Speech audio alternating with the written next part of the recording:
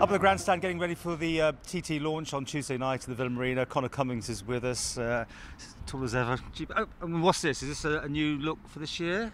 Uh, not really, just some fancy doing. Got a bit lazy with it, I suppose. Oh, it's very, very. I don't know what it is. But it's it's great. Yeah. how are you this year? How are you feeling? I feel really good.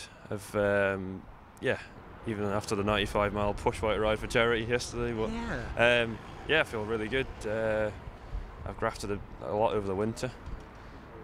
Same old sketch, really. Yeah. You know, uh, same with everyone, and I'm just really looking forward to the year ahead. Riding for Honda. And, and that's it. I mean, great teammate.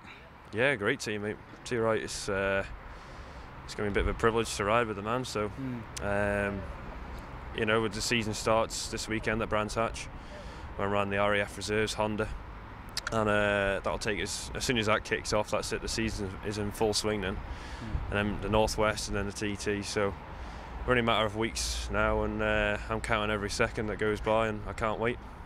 And what, what, are you doing for it? I mean, are you just, just lapping the, the, course all the time now again, and just get getting that buzz?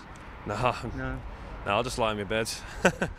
no, I'm just just continuing my, my preparation, my, my training, and uh, I've been, you know I've been down at Gym and Tonic over the winter, um, and just been hammering out the, the weights and yeah. a bit of strength. So, you know, that's all I'm going to continue to do, and just be prepared to come come TT. It's a big part of my year. It's the biggest part of my year, and uh, I just want to be right for it. Yeah. And podium finish is obviously what everyone dreams about.